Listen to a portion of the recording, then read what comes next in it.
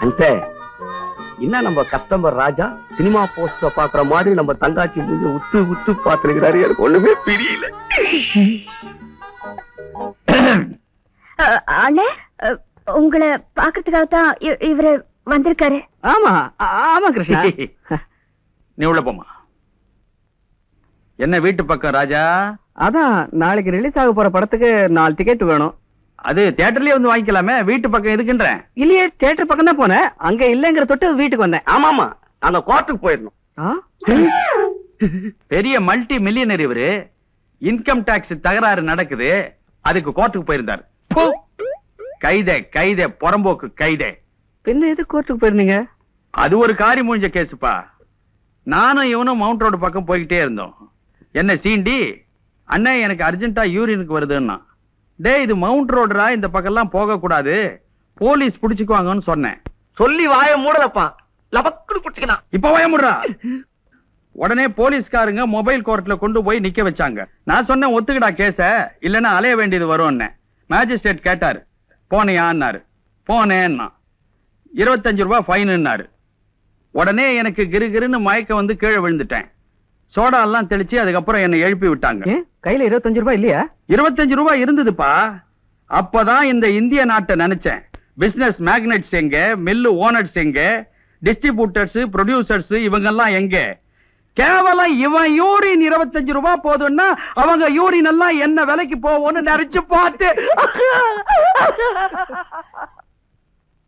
அது போகட்டும். உங்களுக்கு இப்படி ஒரு தங்கச்சி இருக்கிறத என்கிட்ட சொல்லவே இல்லையே. என்னப்பா நீ சொல்றத பார்த்தா மார்க்கெட்டுக்கு மையமா நின்னுகிட்டு எனக்கு ஒரு தங்கச்சி இருக்கு எனக்கு ஒரு தங்கச்சி இருக்குன்னு ஏழை விட சொல்றியா? அந்த நிலைமை உங்களுக்கு வராது. நான் அதுக்காக சொல்லல. நீ எதுக்காகவும் சொல்ல வேணாம். உனக்கு என்ன ஓணும் நாலு டிக்கெட் தானே. துட்ட வெட்டு நடைய கட்டு. நல்ல அசிஸ்டன்ட் அப்ப நான் ஒட்டுமா செய்ப்பா செய்ப்பா நாளைக்கு மீட் பண்றேன். யார மீட் பண்ற?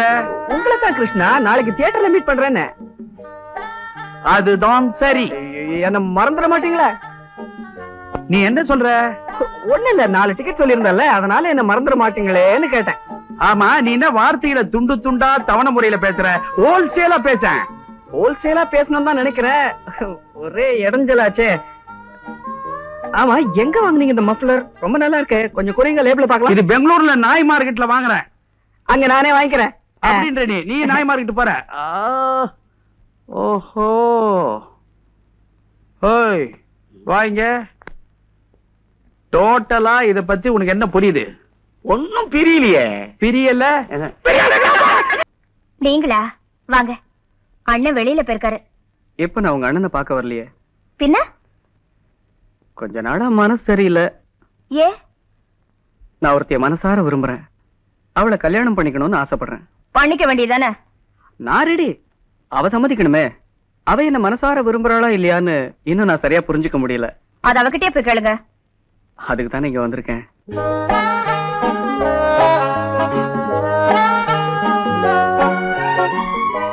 என்னமா புரியல?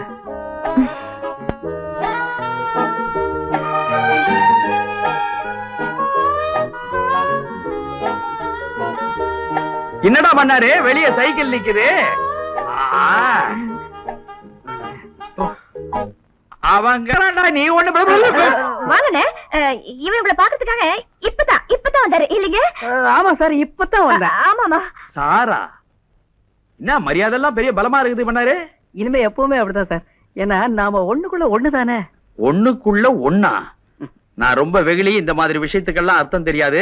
மன்னாரு ஒரு நிமிஷத்துக்குள்ள ஒண்ணுக்குள்ள ஒண்ணுன்னா என்னன்னு நீ சொல்லல. இந்த தாவாங்கிட்ட இருக்குது பார் இது பத்தடி தள்ளி போய் விடும் இது சாதாரண கேள்வி. நான் ஈஸியா பதில் சொல்லுவேன். என்ன? ஒண்ணுக்குள்ள ஒண்ணுன்னா ஒரு டப்பாவுக்குள்ள இன்னொரு டப்பா. நல்ல அசிஸ்டன்ட் நான் செஞ்ச பூஜா பலன் சார். பூஜா பலன். ஒண்ணுக்குள்ள ஒண்ணுன்னா நமக்குள்ள ஒரு உறவு ஏற்பட போதே. அத சொன்ன மன்னாருண்ணே. வாங்கிட்டா தங்காச்சி கூப்பிட்டா. என்னம்மா இத கொண்டு போய் அவர்கிட்ட கொடுங்க. இது? சாங்கிது? நம்ம வீட்டுக்கு யாராவது வந்தா ஒரு டம்ளர் காஃபியாவது கொடுத்து கவனிக்க வேண்டாம் வேண்டித்தான் வேண்டித்தான். தேங்க்யூ கீட்டம் கீட்டம் என்ன சொன்ன? பரவாயில்லன்றா. ஓஹோ வெரி நைஸ் எது? காஃபி. ஆமா உங்க தங்கச்சி என்ன காஃபி பிடிக்கணும் எப்படி தெரியும்? விடியாங்காலையில குடுகுடுப்புக்கார உனக்கு காபி தான் பிடிக்கும்னு வந்து சொல்லிட்டு போனான். என்ன சார் ஆச்சு? ஒரு எரிச்சல் தான்ப்பா. ஏறிட்டு ஏறிட்டோம் சுமதி உள்ள போ. எதுக்காக உள்ள போக சொல்றீங்க? நான் என்ன அண்ணியனா ஒரே குடும்பம் மாதிரி. குடும்பம் மாதிரியா? அது வந்து அந்த செருப்பால் அடிப்பேன். குடிக்க தண்ணி கொடுத்தா குடும்பமா நடத்துறேன்னு சொல்றீங்க பேமானி பசங்களா? ஏன் சார் அவரை திட்டுறீங்க? ஒருத்தர் திட்ட முடியல. அதனால சாக்கு வச்சு திட்டுறேன். அதனால என்ன? உங்களுக்கு ஒரே ஒரு தங்கச்சி தானே? ஐயோ ஏயா இப்படி இம்சை கொடுக்கற? எங்க குடும்பத்தை இப்படி கலர்றிய உப்மா கலர்ற மாதிரி கலர்றிய. உப்மானா எனக்கு ரொம்ப பிடிக்கும். சுபா. எளிமையா இருந்தாலும் பாக்குறதுக்கு லட்சணமா இருக்கு. வீடு வீடு வீடு. ஆபா அடே சின்ன பையா இடம் தெரியாம விளையாடுற எலும்ப தனியா எடுத்து வச்சு நறுக்கு நறுக்கு நறுக்கு நறுக்கிடுவேன். பாவம். ஏன் சார் அவரை திட்டுறீங்க? உன்னை திட்ட முடியல அவனை திட்டுறேன் எத? இவ்வளவு நேரம் என்னையா திட்டுனீங்க? சார் கிருஷ்ணன் சார் என் மேல எவ்வளவு அன்பு இருந்தா உரிமையோட என்ன திட்டுவீங்க? என்னை பத்தி நான் பெருமைப்படுறேன். உங்களை நான் பாராட்டுறேன். எங்க குடும்பத்து மேட்டர் உனக்கு சிரிப்பா போச்சு. உனக்கு சிரிப்பா போச்சு. அடிச்சுட்டே இருங்க நான் உள்ள போயிட்டு வரேன். நீ எங்க அங்க போற? வழி இப்படி இருக்குதுப்பா. அதுல டம்ளர் கொடுக்கறதுக்கு தான் டம்ளரை நான் கொடுக்கலாம் இவன் கொடுக்கலாம். நீ கொடுக்க கூடாது. உங்களுக்கு சிரமம் எதுக்குன்னு பார்த்தேன். சிரமத்திலேயே வாழ்ந்துட்டமே. அப்ப நான் வரட்டுங்களா தயவு செய்து போயிட்டு வாப்பா. உங்களை பார்த்தாலே எனக்கு பயம். ஆமாப்பா உன்னை பார்த்தா எங்களுக்கு பயமா இருக்கு. மிச்ச காபி அதுவும் எச்ச காபி குடி. எதை குடிச்சியே. சாக்கடையில பிறந்த பையா?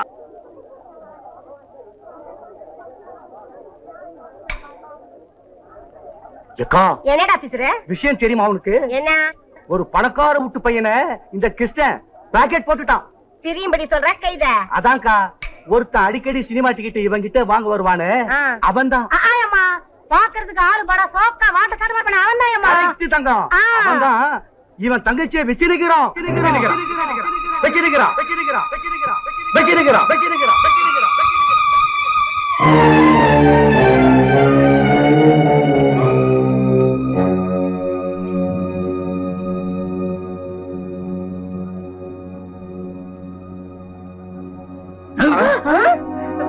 என் தங்கச்சிய பத்தி ஏதாவது தப்பா பேசினேன் குடல உருவிடுவேன் படவா ராஸ்கல் உரியா கையா அல்லாம குறையாது இல்லாம புகையாது ஆ, ஏய் போடியா பால?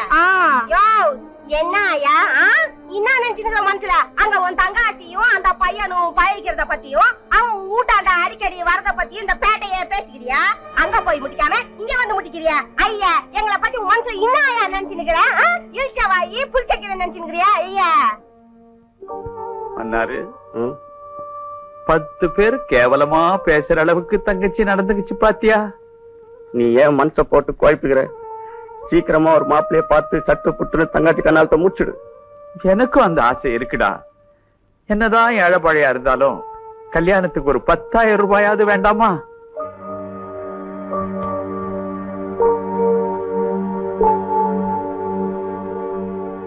சுமதி இங்க வா.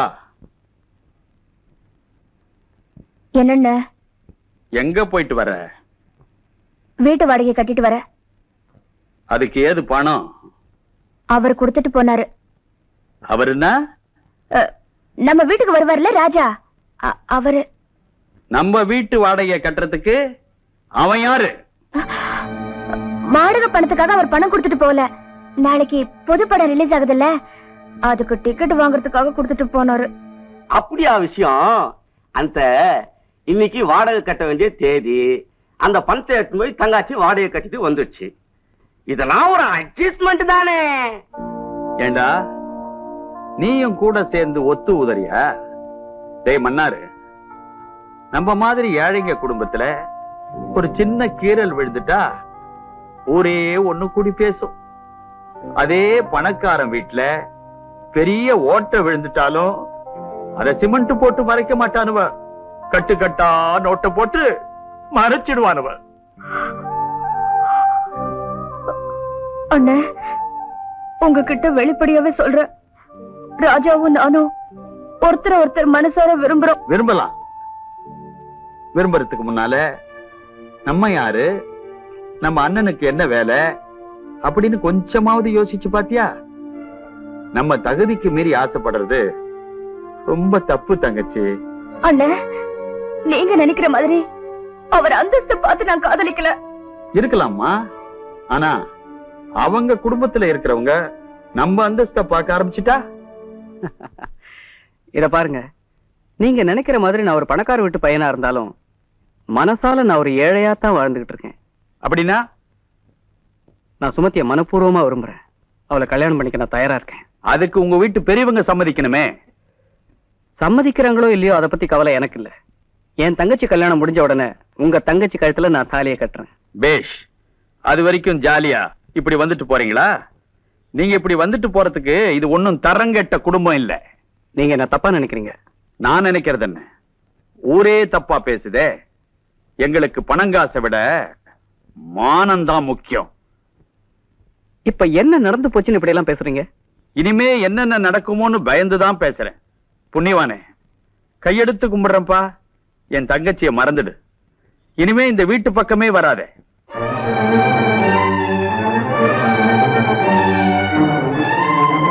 சொல்லிட்டேன் இல்ல. இன்னும் ஏயா நிக்கிற?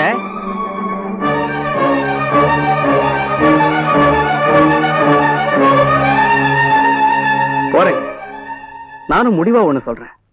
எனக்கு மனைவின்னு ஒருத்தி வந்தா அது நிச்சயமா உங்க தங்கச்சி சுமத்தியா தான் இருக்க முடியும். வரேன்.